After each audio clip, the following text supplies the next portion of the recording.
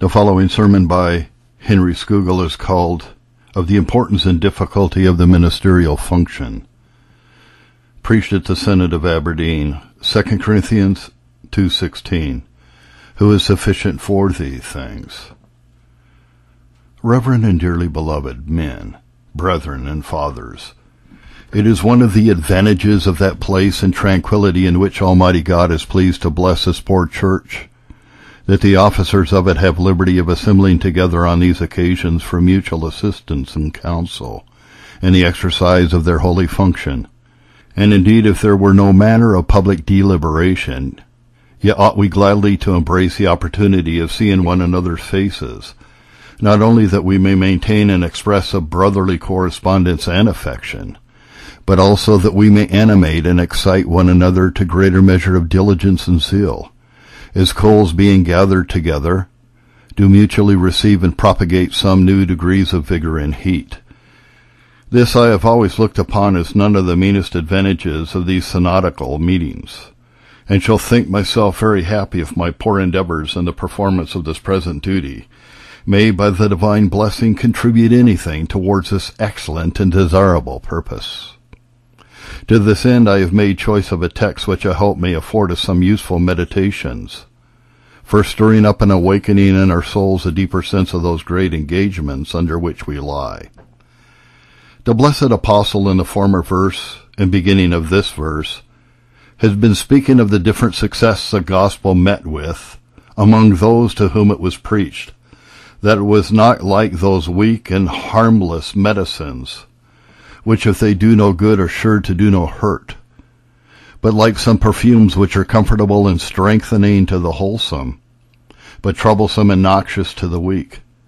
So does it prove a vital savor to those who receive and obey it, but a most deadly poison to all who reject and despise it. For we are unto God a sweet savor of Christ, to them that are saved and in them that perish. To the one we are a savor of death and a death, and to the other a savor of life and a life.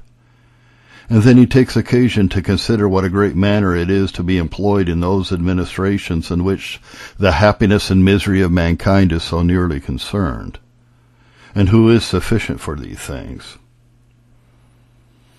We will not detain you with an explanation of the words, but two things I conceive are implied in them. Number one, the importance. Number two, the difficulty of the ministerial function.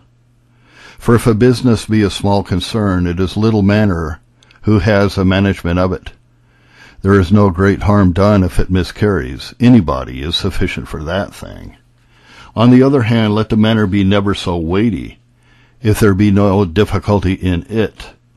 There needs no extraordinary endowments in those to whom it is committed Common prudence and little care will suffice. There is no likelihood that it can miscarry. But the work of the ministry is at once so important and so difficult, of so great consequence and so hard to be performed, that there is a great deal of reason for an emphatic interrogation. Who is sufficient for these things? First, let us fix our thoughts a while on the weight and importance of the ministry and we shall find that it is a greater burden lying on our shoulders than if the greatest affairs of this world were devolved upon us, and we held up the pillars of the earth.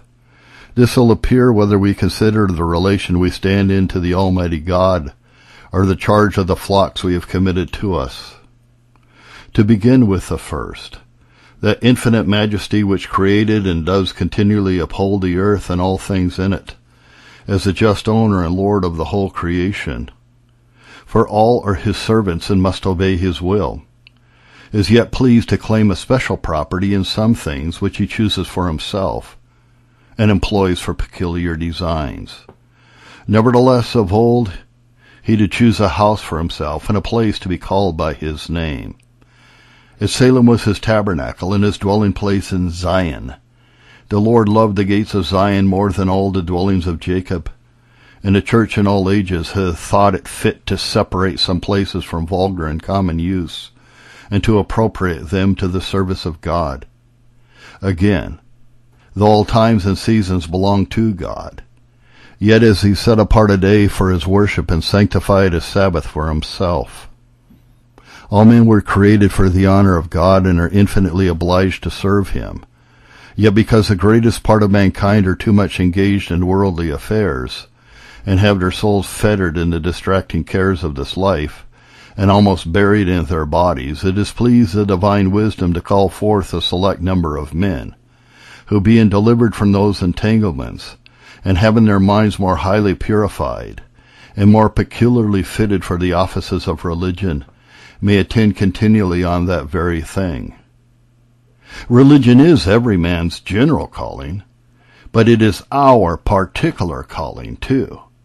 And while the laborer is at his plow, the craftsman at his forge, and the merchant in his shop, the minister ought to be employed in the exercise of devotion for the interest of advancing piety and the honor of our Maker.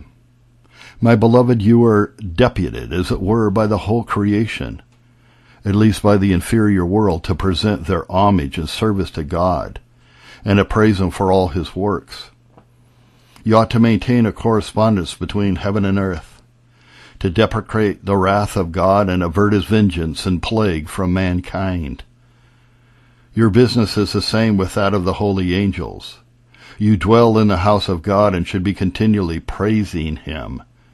And this is an employment so holy that were our souls as pure as cherubs, as zealous and active as the blessed spirits that are above, we should yet have reason to cover our faces and to be swallowed up in a deep sense of our own insufficiency for these things.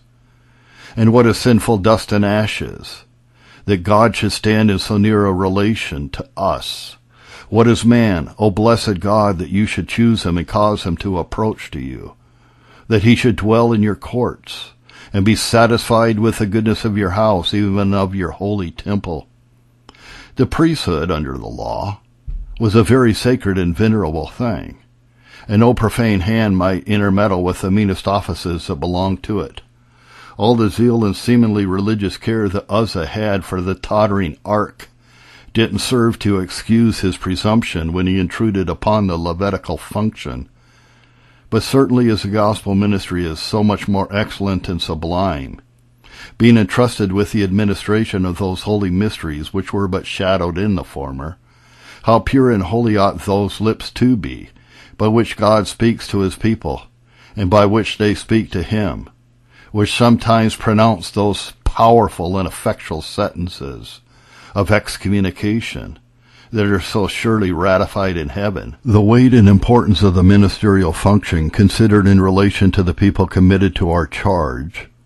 We are not entrusted with their fortune or estate, nor with their bodily health and welfare, nor with the affairs of state or the interest of kingdoms, though indeed religion has no small influence on these, and the labors of pastors, if successful, would contribute exceedingly to the public tranquility and the present happiness of men. But our main business lies another way.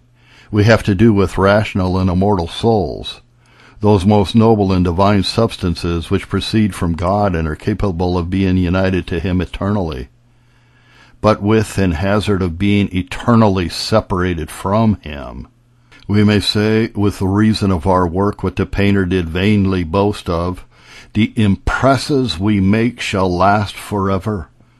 My beloved, the most serious of our thoughts come very far short of the inestimable worth of the depositum, that treasure which is committed to our care.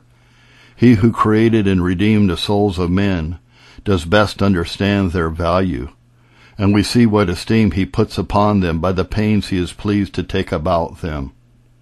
Their salvation was contrived before the mountains were brought forth, before the foundation of the earth was laid. The design was formed from all eternity, and glorious are the methods by which it is accomplished. To this purpose did the deity empty itself, and was clothed with the human nature. To this purpose was that strange and wonderful conjunction, God and man united together. Hitherto did all the actions and all the sufferings of our blessed Saviour aim. For this he was born, and for this he did die. And shall we undervalue the price of his blood? Or think it a small matter to have the charge of those for whom it was shed? It is the church of God we must oversee and feed, that church for which the world is upheld, which is sanctified by the Holy Ghost, on which the angels themselves attend. What a weighty charge is this we have undertaken. Who is sufficient for these things? That these matters may yet take a deeper impression on our hearts, let us further consider the dreadful consequences of miscarriage in the discharge of the ministerial function and we shall find that it reflects a great deal of dishonor on the divine majesty and on our blessed Savior, that it does very much hazard the souls of our people and certainly ruins our own. I say it does reflect dishonor on Almighty God as the faults of servants do commonly prejudice the reputation of their masters and the failings of ambassadors are imputed to their princes. We stand in a nearer relation to God and are supposed to be best acquainted with His will and to carry the deepest impressions of his nature on our minds. An ignorant people will entertain the meaner thoughts of the holiness of God when they miss it in those who are called his servants. Certainly it is no small reproach which the faults or miscarriages of pastors bring upon the ways of godliness and the holy religion we profess. It is no small affront that is by this put on the blessed author of it. Creator, without question, than all the malice and spite of his open enemies is able to practice. For by this he is crucified afresh and put unto an open shame. And oh, how great is the hazard our poor people run by our negligence or failings, even as much as the worth of their souls amount to. If the watchman be not faithful, and give not timely warning, the sword will readily come, and the people will be taken away in their sins. Like people, like priests, will still be a proverb of a general truth. But if the negligence and miscarriage of a pastor hazards the souls of others, it has certainly ruined his own. It made Chrysostom say, words so terrible that I tremble to put them into English, and yet, if a man should speak fire, blood, and smoke, if flames should come out of his mouth instead of words, if he had a voice like thunder and an eye like lightning, he could not sufficiently represent the dreadful account that an unfaithful pastor shall make. What horror and confusion shall it cast him into at the last day, to hear the blood of the Son of God plead against them, to hear our great Master say, It was the purchase of my blood which you neglected. God died for those souls of whom you took so little pains. Think not therefore to be saved by that blood which you have despised or to escape the torments in which many others are plunged through your faults. By this time, I hope it does appear that the work of the ministry is of great weight and importance, and much depends on the right discharging of it, and that miscarrying in it is the most dangerous thing in the world. Number two. The second thing we had to speak to is the difficulty of managing this charge aright. And this will appear if we consider the end and design of the ministerial function. Number two, the impediments we have to overcome in the prosecution of that end. And number three, the several sorts of duties and exercises incumbent upon us. As for the first, the great business of our calling is to advance the divine life in the world, to make religion sway and prevail, frame and mold the souls of men into a conformity to God and superinduce the beautiful lineaments of his blessed image upon them, to enlighten their understandings and inform their judgments, rectify their wills and order their passions, and sanctify all their affections.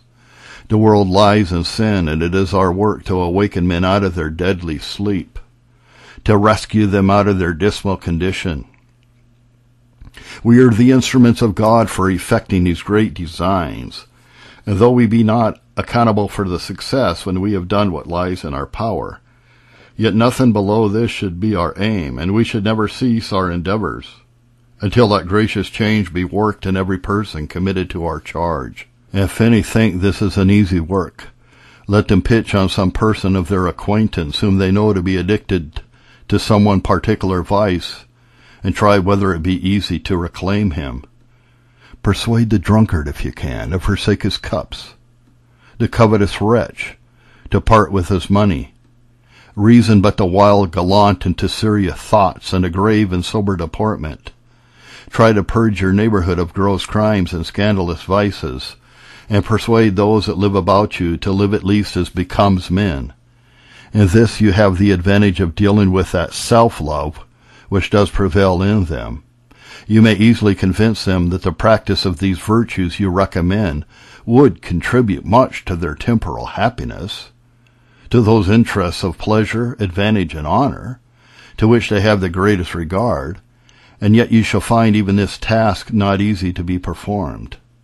But to raise men to the greatest heights of mortification and self-denial, to make them truly humble, meek, and resigned to the will of God, to overpower that selfish principle which is so deeply rooted in the constitution of our souls, and does so readily insinuate itself into all our affections and designs, to set divine love and universal charity upon the throne, that the honor of God and the welfare of others may be as dear to men as their own concerns, to have religion become another nature to them, and they, as it were, a living law to themselves. This, this is so great and wonderful a change that only omnipotence is able to produce it. So certainly they have a mighty task who are employed as instruments in it. Again, let me appeal to the conscience and experience of everyone what difficulty they find in dealing with their own souls, in regulating their own passions, and in mortifying their own corrupt affections. Yet here we have the advantage of a nearer application. We can carry home our reasons with more force upon ourselves than others. Our thoughts and meditations must be more clear and lively than our words and expressions are. If it be hard then to persuade ourselves to be good, it is sure much harder to persuade others to be so. Consider in the next place the enemies we have to encounter with, which oppose the design of our employments. We wrestle not against flesh and blood, but against principalities and powers. All the forces of hell are up in arms against us. All the powers of darkness continually oppose us and little do we know those hidden arts in which these accursed spirits do apply themselves to the souls of men, to suggest and insinuate their temptations. The world also, with all its cares and pleasures, is daily fighting against us, and there is no estate or condition in it but what is surrounded with a thousand temptations. The poor are so much taken up in providing for the necessities of this life that they can hardly be persuaded to think upon another. The rich are commonly drowned in sensual pleasures. And our Savior tells us it is easier for a camel to go through the eye of a needle than for a rich man to enter into the kingdom of heaven. The influence of sensual objects is very strong. And though the possessions of the other world be as far beyond our enjoyments here, as this world is above nothing, yet because the things of this world are present, and are ever and anon offering themselves to us, and bearing upon our senses. Therefore they frequently prevail against all the persuasions of reason and religion also. And what shall we say of the evil company and bad example that inveigles the souls of men? We perhaps see them once a week and bring them to some degree of sobriety and a sound mind. But then their wicked neighbors and the companions of their sin meet them every day and by their counsel and example obliterate any good impression that has been made upon them. And by this we lose more in a week than we are able to recover in a whole year. But the greatest enemies we have are those within the souls of men. Their depraved affections, their lusts and corrupt inclinations. When doctors undertake the cure of bodily distempers, they have the consent of the party he is ready to comply with their prescriptions.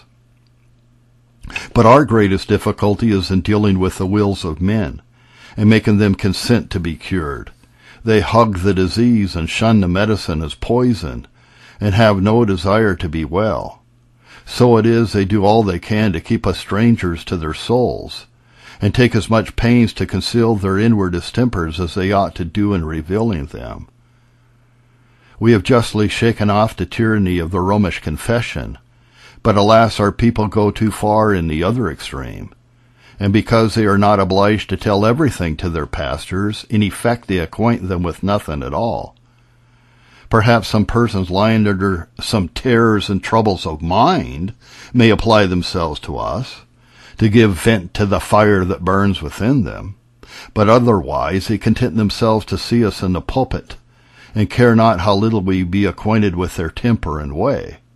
It will be long ere any come to tell us that they find themselves proud or passionate or revengeful, and inquire how they shall get these vices subdued, that they are covetous and uncharitable, and beseech us to tell them how they shall amend, to acquaint us with their temptations, and to learn the fittest methods to oppose them. We are seldom troubled with addresses of this nature, and it is hard to do anything towards a cure when they will not let us know the disease. The difficulty of the ministerial function will further appear if we will consider the several duties and exercises of it. We shall but touch at some of them at present, and may perhaps have occasion to speak more in the application. Catechizing is a necessary but painful one. It is no small toil to tell the same things a thousand times to some dull and ignorant people, who perhaps shall know but little when we have done. It is this laborious exercise that sometimes tempts a pastor to envy the condition of those who gain their living by the sweat of their brows without the toil and distraction of their spirits.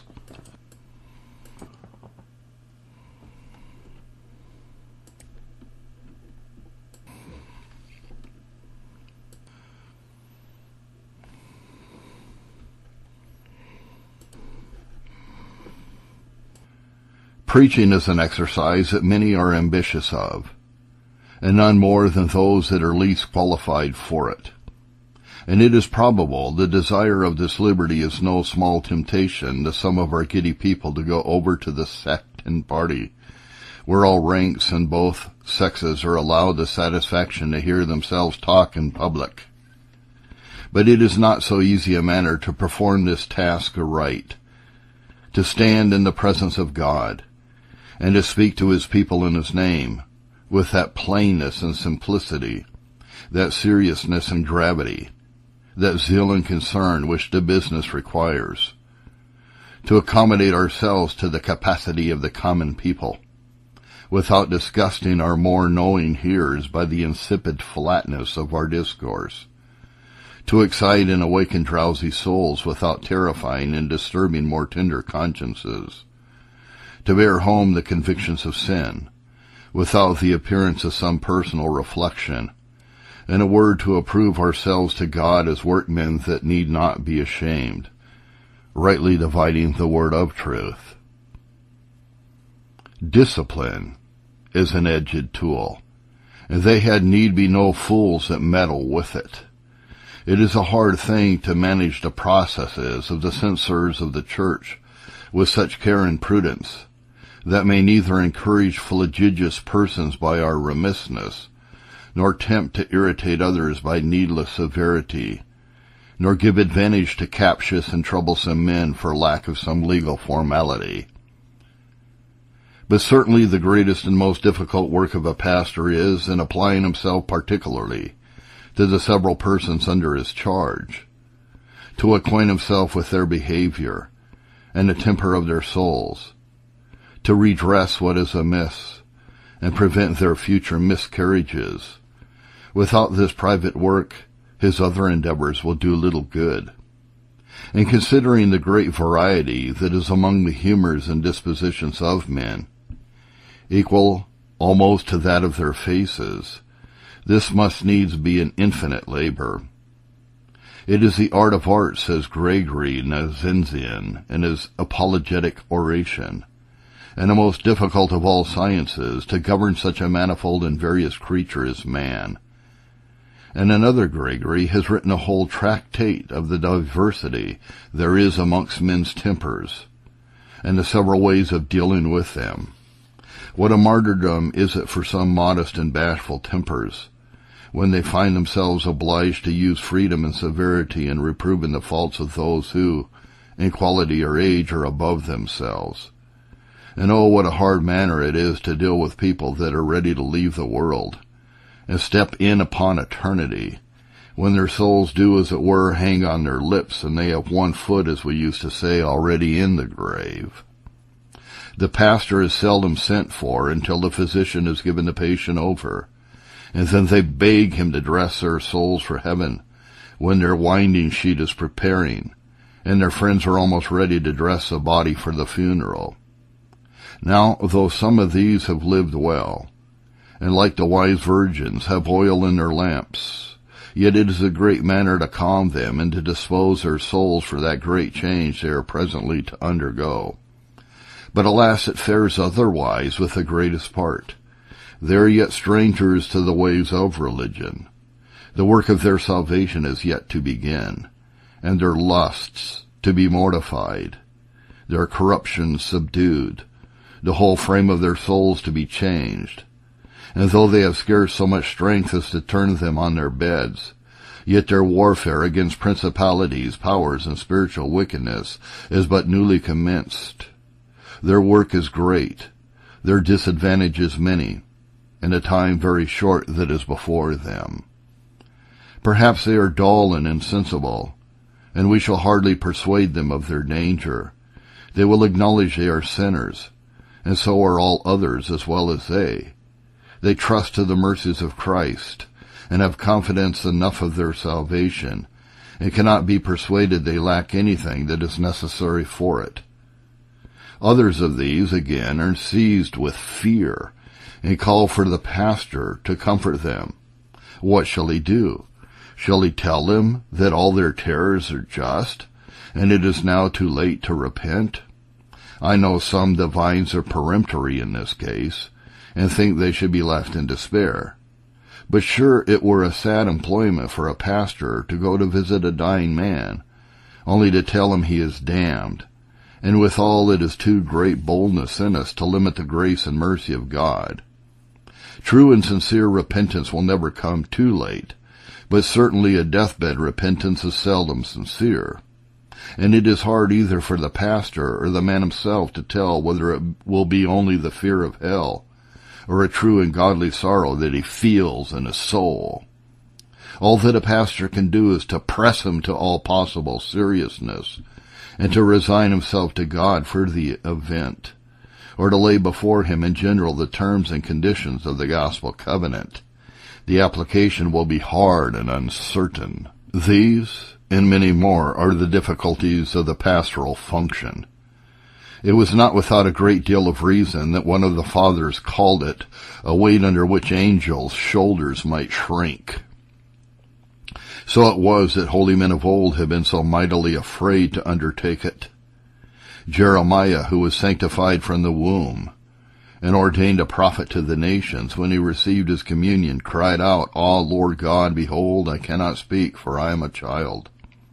And Ezekiel, though strengthened and confirmed by God, yet went unwillingly, yea, in the bitterness and indignation of his spirit. And in the ancient church, the more eminent and great persons were in piety and worth, the more sensible they were of the greatness of this charge, and the more loath to engage in it. Some of them have fled into the mountains and deserts, or hid themselves in the dens and caverns of the earth, and were more afraid to be laid hands on by the bishop than by the most bloody persecutors. Three times did Ambrose flee from Milan, and it is reported that after he traveled hard all night, he found himself next morning at the outer gate of the city he endeavored to avoid. Gregory, Nazianzen, being taken in his flight and ordained by force, did compose that excellent oration which is at the beginning of his works, and which he does so well express the greatness and the danger of the ministry, that the reading of it, and I wish it were frequently and attentively read, might I think do much to quell the confidence of the most confident intruders. Augustine entered by chance in the church of Hippo, just as the Bishop Valerius was speaking to the people concerning the choice of a pastor, of whom they stood in great need. He was presently pitched upon and almost ordained by force, after he had with tears deprecated the charge, and in these strange terms, quid vultus ut parem, intimating the hazard he should thereby run. And Chrysostom, professes of himself that when he was chosen to a bishopric, his soul and body were almost parted asunder. So great was the grief and fear that seized upon his spirits, and that he did many times wonder how it had ever entered into the minds of those that chose him, or what great offense that church had been guilty of, which had provoked God to suffer it to be committed to such an unworthy person. So sensible were these excellent men of the difficulties of this holy function, even in those first and golden ages of the church. And certainly they are much augmented to us who live in these dregs of time in which religion is almost banished out of the world. The principles of it called in question by many pretenders to judgment and wit, and the practice not only neglected, but derided insomuch that men are frighted from godliness by the contempt that lies upon it. We have a world of wickedness to fight against, and who is sufficient for these things? Thus, having prosecuted the importance of the text, it is time to make some application of it. First, I shall address myself to those of the laity who vouchsafe us their presence, that they may not think their time is spent in some hours of attendance. You see, dear people, what a weighty and difficult charge they have to whom your souls are committed. Whence is it, then, that some of you account the pastoral function the most useless employment in the commonwealth, and that which might be most easily spared, and that pastors have easy lives, gaining their living by the breath of their mouths, as some of you are pleased to word it? So is it that this holy calling comes to be so much despised, and that the names of pastor, parson, or priest are become words of ignominy and contempt. And whatever advantages of birth and education a pastor may have, yet his employment is thought enough to degrade him and put him below every man that can pretend to the name of a gentleman. Again, how comes it that, those small gleanings of the church's patrimony, which sacrilege and oppression have left us, should yet be envied and looked upon with an evil eye, and that a clergyman, who has spent his time and much of his fortune in the schools of the prophets, to fit himself for that employment in which he may be most beneficial to mankind, should yet be maligned for a small annuity during life, which perhaps amounts not to the gains of the meanest tradesman. And yet if those persons had chosen another employment, perhaps they would have had parts and abilities sufficient to have advanced themselves to wealth and honors, as well as others, and would not have been envied for it. My beloved, I account him not worthy of the name of a pastor of Christ, who cannot patiently suffer injury, contempt, and envy. But certainly it is no good part in the people to put these upon them. It is a shrewd token that they have a small regard to piety and religion, and that their own souls are the things about them for which they have the least concern. Learn, I beseech you, dear Christians, learn to take more rational measures of things. Think how much you are indebted to the divine goodness which has taken so great care of your everlasting happiness as to set apart an order of men whose business it shall be to promote and advance it. Do all that you can to encourage and assist them in their work. Give them the encouragement of your constant attendance and assist them by helping to instruct those children and servants who are under your several charges. Apply yourselves frequently to them for advice and direction and be often putting up that important question, what shall we do to be saved? Yield them that submission and obedience which is due them in the Lord. Don't go to church to sit as judges and censor the sermon when you return. If you be not pleased with it. Your ignorance or indisposition may be the cause, and modesty should oblige you to silence. If you're taken with what you have heard, don't spend your time and talk about it. Practice is the best way to commend it. Beware of that spiritual pride and conceitedness which makes the people to strive with their pastors, which the prophet Hosea notes as an heinous sin. Finally, to sum up your duty in the apostles' words, Obey them that have the rule over you, and submit yourselves. For they watch for your souls as they that must give an account, that they may do it with joy and not with grief, for that is unprofitable for you. I might in the next place take an occasion from what has been said to press the great obligation that lies on patrons of churches to seek out and to make choice of those whom they judge to be best qualified for so high and weighty a charge, and might show that it is no small guilt that he draws upon himself, who presents a person to the care of souls, of whose prudence and fidelity it may be he has so little confidence that he dares not entrust him with the management of his fortune, or the tutory of his child, while perhaps others are overlooked that might be capable to do much more service in the church, merely because they have not the good luck to be related or recommended to the patron, or because they have less money or more conscience than to bargain for the living. But I forbear this, and shall crave liberty of this venerable auditory to take this occasion of doing something that relates to my peculiar function, and speaking a little to those sons of the prophets, those candidates of holy orders whose diligence and study are for the ministry, and who are to be employed in the vineyard of God when the present laborers shall be called off to receive their reward. You see, sirs, what a dreadful and important charge it is to which you aspire. Consider, I beseech you, what great pains are necessary to fit and qualify you for it. Ordinary callings are not learned without a long apprenticeship, and will the art of governing souls be learned on a sudden? It is not knowledge of controversy, or the gift of eloquence, much less a strong voice and bold confidence that will qualify you for it. The errors that should abound among us make it necessary indeed that you should know how to deal with the adversaries. For the clergy are many times put to the pass, the Jews were, at the building of the second temple. With one hand they must build the house of God, and with the other they must hold a weapon. Yet certainly your greatest work lies within in purifying your minds and learning that wisdom which is necessary for souls. Begin then, I pray you, and preach to your passions, and try what good you can do to your friends and neighbors. Study that gravity and seriousness, that humility and self-denial, that purity and mortification that becomes those who may one day stand in so near a relation to God and bear so eminent a charge in his church. Don't be hasty and forward and rushing into public. It is better you be drawn than run. Nazianzen complains of some in his time who with profane hearts and unwashed hands did rush into the holy function, and before they were fit to receive the sacrament, would take upon them to celebrate it, and though they be not come unto the age of men, if they have learned some pious words, think themselves fit to be overseers of others. This, I say, was the humor of some in his days, and I am afraid the case is not much better in ours.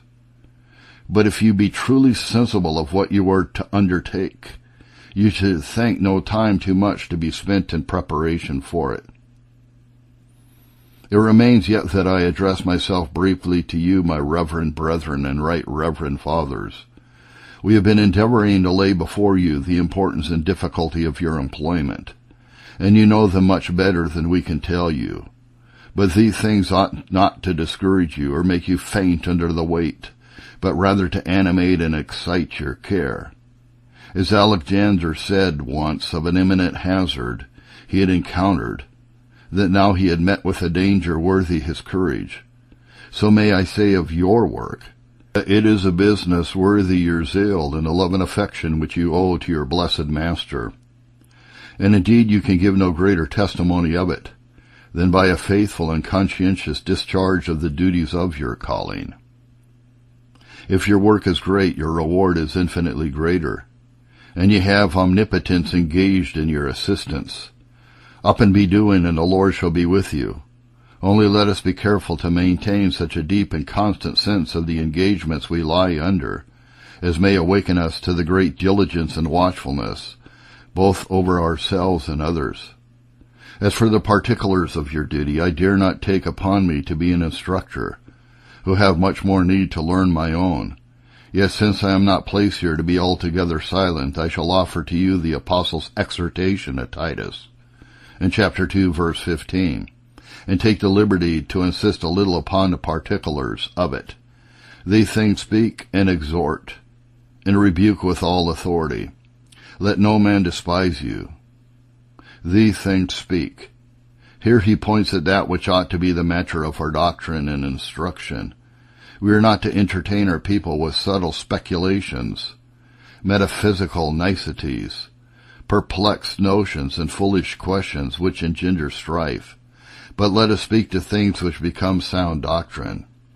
Let us frequently inculcate the great and uncontroverted truths of our religion, and trouble our people no further with controversy than necessity requires. Let us study to acquaint them with the tenor of the gospel covenant and what they must do to be saved, to inform them of the particular duties they owe both to God and man. For the apostle had before been speaking of the duties to be recommended to everyone according to their several capacities and relations. And indeed it were not amiss that in catechizing pastors would bring home the articles of faith by practical improvements, both teaching men their particular duties and pressing them to the performance. But it is not enough to speak these things, to tell men what is incumbent upon them. We must besides endeavor to excite and stir them up by the most powerful and effectual persuasions, the judgment being informed. We must do all to influence the affections, and this is a proper use of our preaching, which though it be overvalued by those who place all religion in hearing, yet certainly it is of excellent use and ought to be managed with a great deal of care. Let the manner be weighty and grave, the method plain and clear, the expression neither soaring on the one hand, nor too familiar on the other. Some good men are not aware what contempt they draw on religion by their coarse and homely allusions, and the silly and trivial proverbs they make use of nor should our expression be too soft or effeminate, nor our pronunciation affected or childish. Religion is a rational and manly thing, and we should strive to recommend it with the greatest advantage.